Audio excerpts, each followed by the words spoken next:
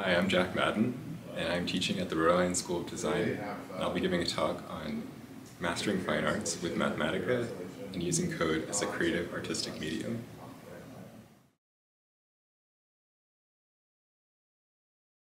Hi, everyone. I'm Jack Madden. Uh, I have a PhD in astrophysics from Cornell and also an MFA uh, from the Rhode Island School of Design uh, in digital plus media.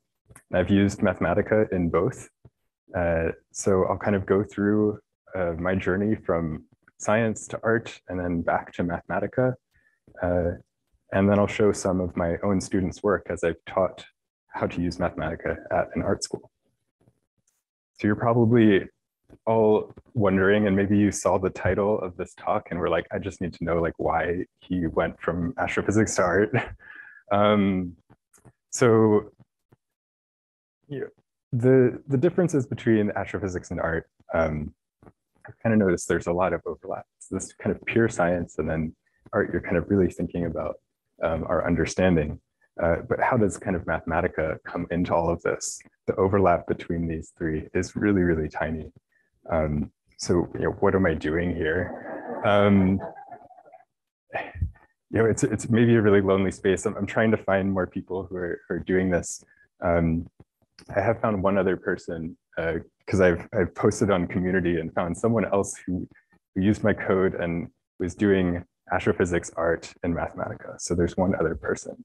Um, so we kind of need to start with this divide that I think exists between how people think about um, you know, STEM and the sciences, because that's my background in science. So I'll be kind of focusing on science a bit, and this uh, more intuitive artistic side. And I think that this is, is really a myth, that there is this divide between you know, intuitive and analytical or left brain, right brain. Uh, great mathematicians are highly creative people. Um, artists, if you see their work, it's, you know, and their practice, it's really quite rigorous. So I think this divide, you know, doesn't really exist um, you know, art and science are not opposites or even two sides of the same coin. Uh, Mae Jemison puts it really nicely. I saw a talk from her um, many years back, but she says that the sciences provide an understanding of a universal experience and the arts provide a universal understanding of a personal experience.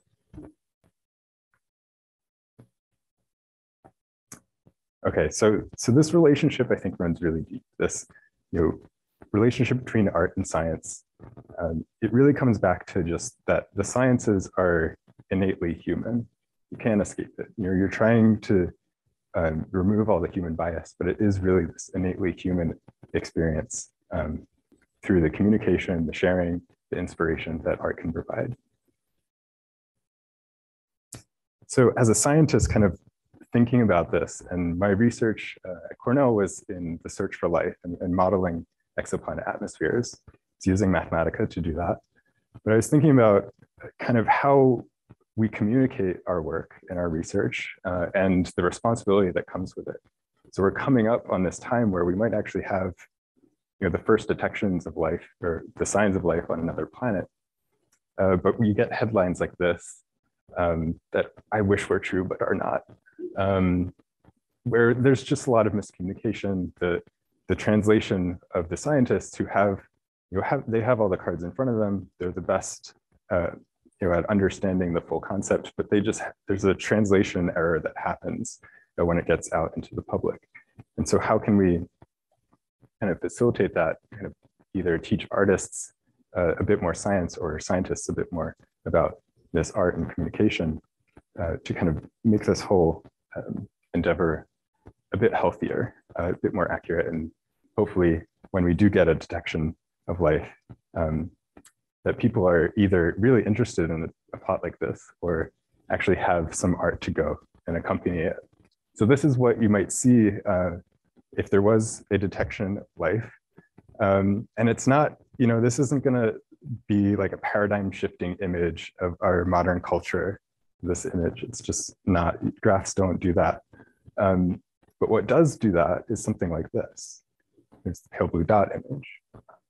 Now, this is what you get when you have a scientist on the team who's thinking artistically, right? So Carl Sagan, who decided that this was a worthwhile shot to take, has resonated through, you know, the sciences and art and just cu culture in general to kind of capture, um, you know, the endeavor of the mission itself and our place in the universe. So how do we kind of find something a bit deeper uh, here to make something, you know, effective like this?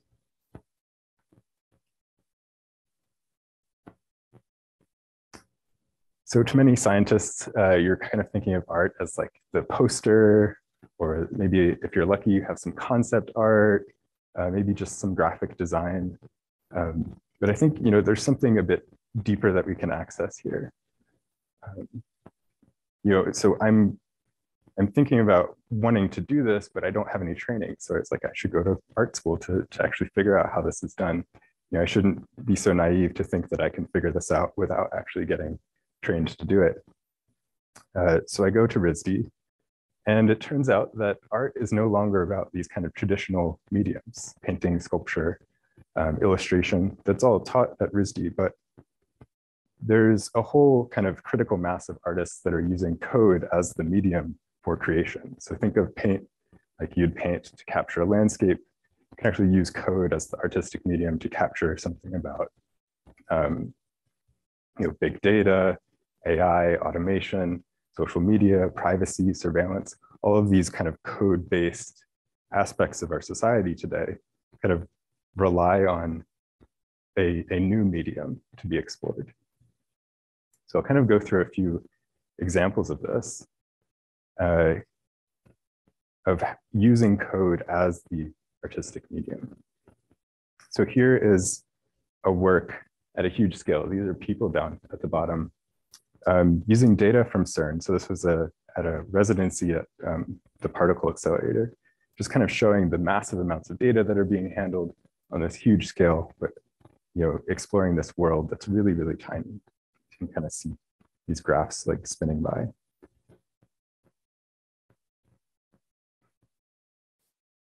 Libby Heaney is actually using time on IBM's quantum computers to create assets for virtual worlds.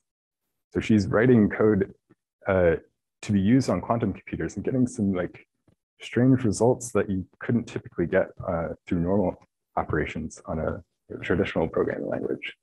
So really interesting results there too. This might be a little hard to read with the lights.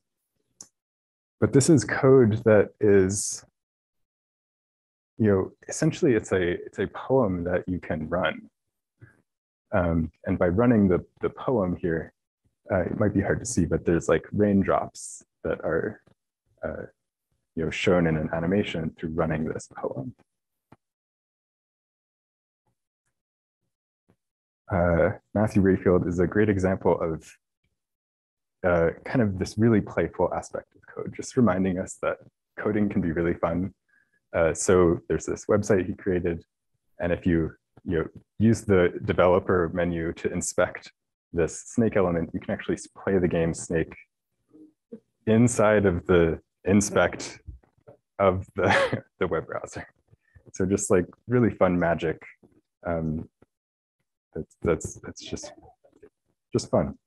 Um, a whole lot of other stuff on his website too. Uh, please check it out. So I realized that I don't need to like learn a whole new medium to make art that I want to make. I can use Mathematica. Um, so I learn about you know how to make a rigorous art practice and do the research, and you know I'm reading papers, running little experiments, kind of a lot of the stuff I was doing as a scientist, but you know with these whole new questions about you know understanding and our relationship with science, um, and kind of humans and how we discover things. So that's kind of the topics I was doing. So here's just a few examples of some of the work I was doing um, with Mathematica's help. And I want to kind of stick on this one as, as an example. Let's go to the next slide. There we go. So this is a work um, where essentially you're asking the question, what would the complete definition of a word look like? Uh, so if you take a word and you define it, and then you define all of the words in that definition, and then all the words in those definitions, and you're connecting them back to each other. So you're keeping track of which ones are uh, coming from which. And you do that until you kind of run out of new words to add. So if you take a second, you'll realize that you're gonna, it's a you know, finite set, right? There's a limited number of words. Uh, you're gonna you know, self-reference a lot. So it kind of creates this closed system. I'm gonna show that uh, on a small scale, what that looks like. So you're starting with the word meaning. The definition is the implied or explicit significance. And then you go and you define implied, um, the suggested but not directly expressed, uh, comma, there's comma in there, and implicit, you keep going. And then you can see here when you get to explicit, it references back to or because that's in the definition. So eventually you're going to get all these references back to other words that you've already found.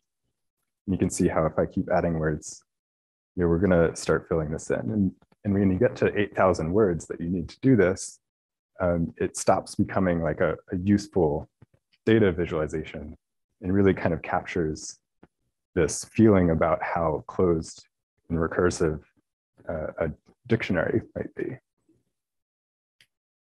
So these are super highly detailed. There's about 80,000 lines in here, and this was all done uh, in Mathematica, posted on community as well. Um, you can run different starting words, see the differences, or you can actually do like different embedding algorithms.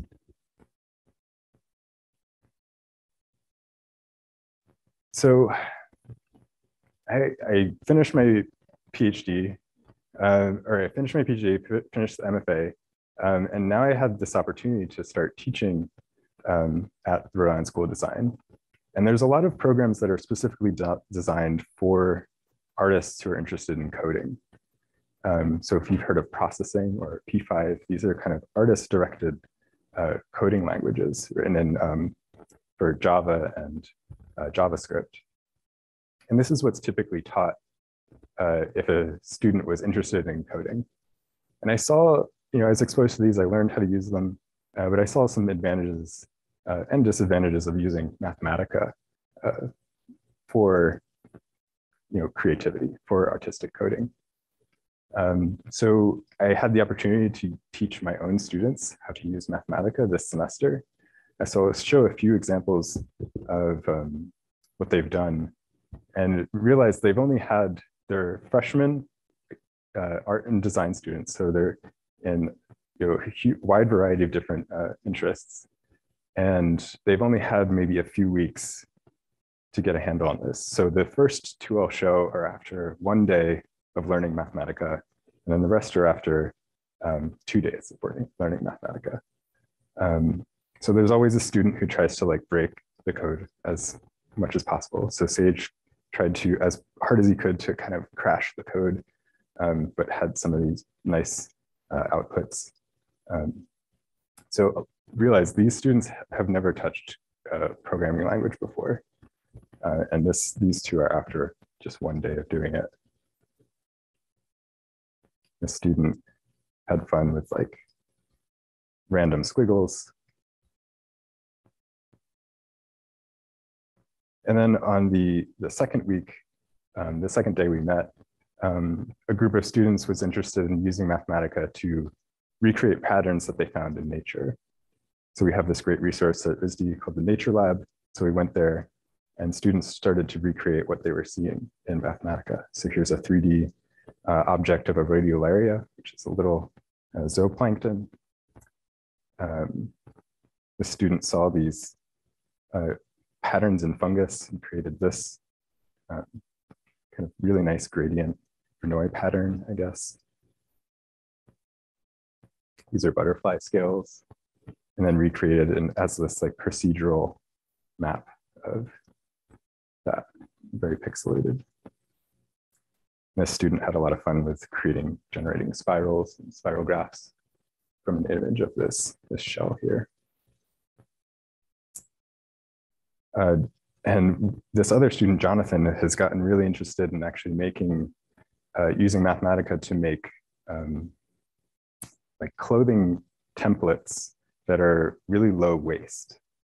So how do you take an object like this? So this is like, this might be part of a shirt or something, break it up into uh, smaller objects. So break it up into triangles. And then how do you pack those triangles into a rectangle to have very little waste um, in the manufacturing of this type of clothing?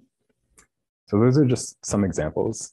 Um, and I hope I have some time for questions because I wanted to get your feedback on all of this. Uh, so I'll kind of end it there. And uh, there is also a break after this if you want to come up and chat. Um, but thank you.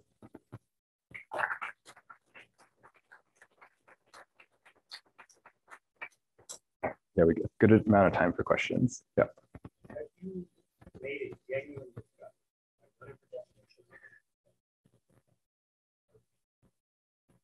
What do you what do you mean by this a scientific?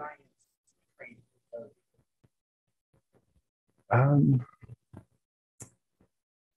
I think the art,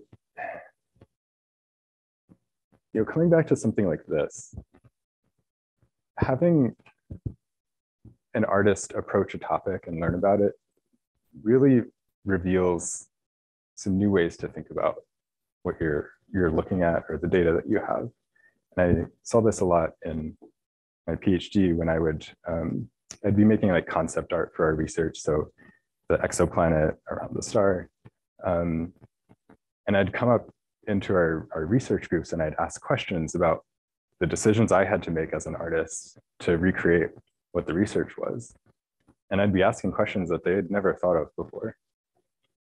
And so I'm like, yo, what is what is actually the gonna be the color of the ocean on this planet? like, oh, well, that's actually an interesting question. Um, you know, the light's going to be different. It's around a different type of star. Um, if the atmosphere is a little different, the actual ocean color is coming from that. So it's actually to be totally different.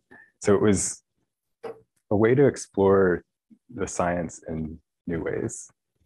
And if you're making something like this, that's a visual that's beyond what you would put in a paper.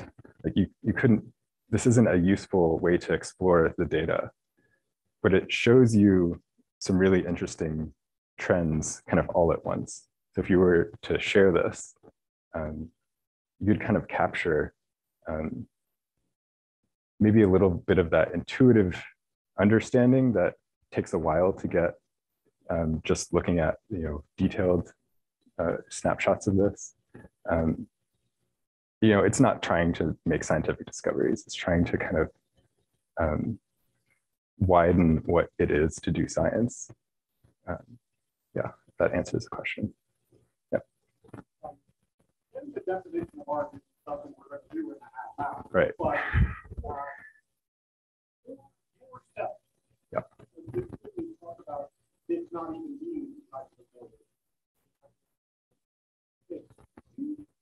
differentiate between artistic and non-artistic graphical output from mathematics? And if so, what is the differentiation for you?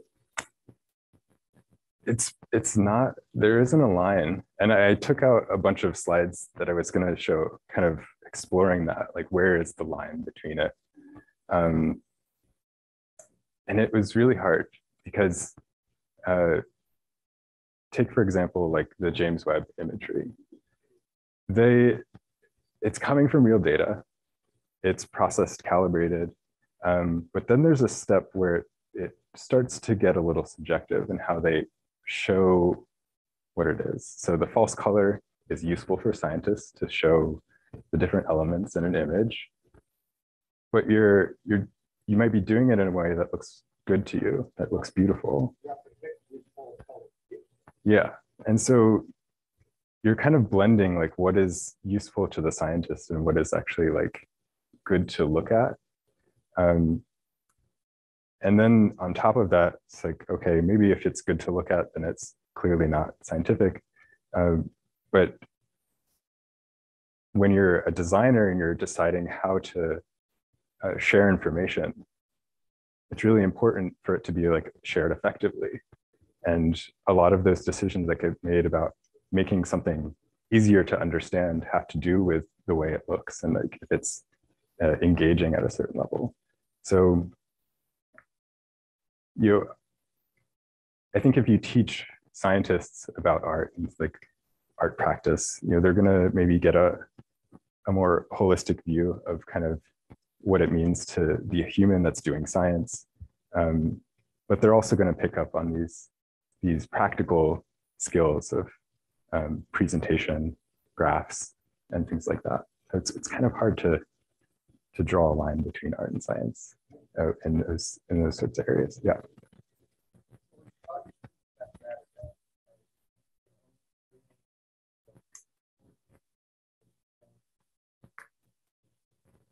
Uh, yeah, so I had it's a studio class, so it's it's several hours long. But I kind of showed them, you know, how to use Mathematica that first day, and gave them some time to, you know, in the class to work on stuff, and then the following week was like when the assignment was due.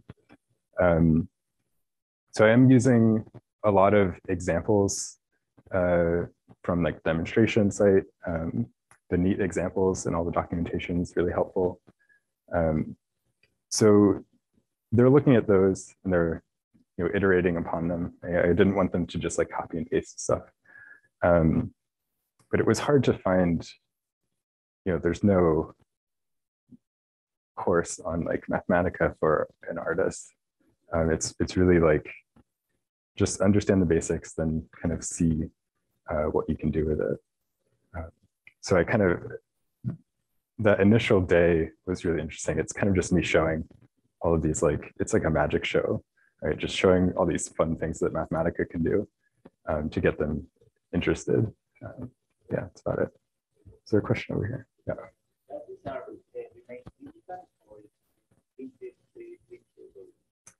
Um, a lot of the stuff that I do was digital. So this is this is actually an image of a panel, and it was I used Mathematica to help me make these laser cutted laser cut images to cut into the panel. Um, I'm forgetting his name, but there's someone who uh, 3D prints a lot of these like geometric shapes. I don't know if anyone knows what I'm talking about um, using Mathematica. So they're you know exporting um, you know these 3D graphics uh, for printing. Um, so yeah, you can kind of go anywhere with it, or you can even just use it as you know a set of references that you're then you know painting something with. I think that's already happening. Um, the thing that I'm not concerned about is like if I think it's it's maybe a good it's healthy for um, the whole art community, but um, kind of differentiating the different types of art. Art is super broad. Artist is extremely broad term. Uh, so uh, there's many artists I know that don't feel threatened by what is created by AI now. That if if you feel like your art can be made by an AI and have the same value, then like you're doing a certain type of art. And if you're you don't feel threatened, and that's like kind of a different type.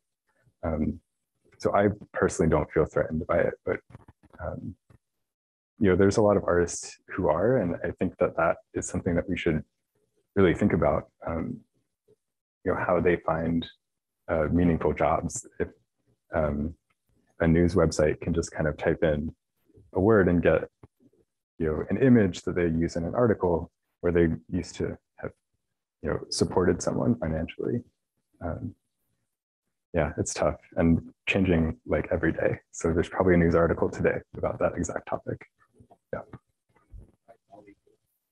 i have tried DALL-E too yeah.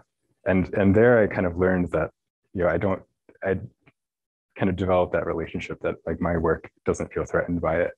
Um, if you really pay attention to how it's making the images too um, it's not perfect. Like it it will get there eventually but right now it's not. And you can really tell uh, i think the difference between something that is ai generated and something that's not. If you just glance at it you really can't. But um, upon closer inspection you can really tell so if you're all interested, if you are interested enough to come to this talk, you should really check out the uh, visual arts um, group on the community forums. Um, there's a lot of stuff. It's a small community, but you know, it's very active. So I'll, I'll check that out. Yeah, that's a really good question. Um, It's hard to answer. I mean, this is so. This is the first time I'm kind of teaching Mathematica to to art students, um, and every day after class, I'm like rewriting how I would do the lesson, um, and just hearing kind of new voices and a topic that I know so well as a scientist um, has been really eye opening. Um, and hopefully I get to develop it further. So this winter, I'm going to be teaching kind of a more focused, uh, like art computation course, and I'll be using Mathematica. Um, so hopefully after a couple iterations, we'll get more refined, but um, I'd love to talk more about that with you.